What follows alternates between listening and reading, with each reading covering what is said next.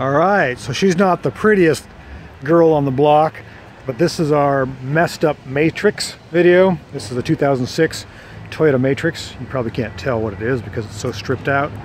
My buddy gave it to me. it was in a pretty severe front end crash where it hit a truck and I'm assuming a truck's bumper, the whole car went underneath it and it smashed everything in this direction. No airbags were damaged, uh, but the wiring was cut, the engine is pushed back in its cradle, I had to go through and manually figure out which wires did what. Uh, and it was a bit difficult because it's got electronic throttle. Uh, and even though I got it running, I couldn't get it to take any throttle because I didn't know there's multiple white wires and multiple green wires without tracers on them. And I had to guess uh, without a schematic, just kind of doing it off the top of my head. Anyhow, I succeeded.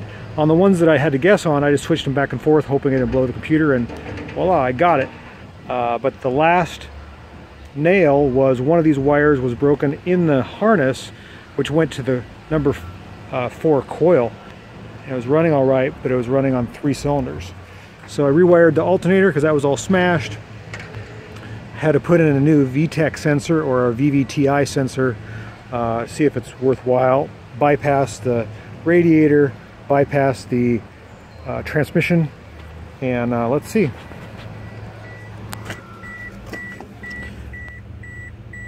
I don't know if you can see that or not. I got all the codes cleared. So the check engine light should be off. It's on. Let's turn the fan off. I had the fan on to keep the uh, engine cool. Let's see here. I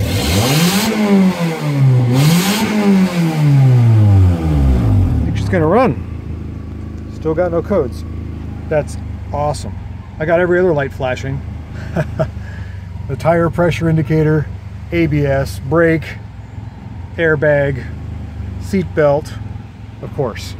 So that is our messed up matrix. We're gonna body swap it, I believe. I haven't figured out which car, but I'm probably gonna cut her down and maybe put that green Honda right there by the scrap pile. Possibly the Goliath back there on this chassis. That'd be really cool. We'll see how that works out. All right, thanks for watching. Thanks for staying tuned.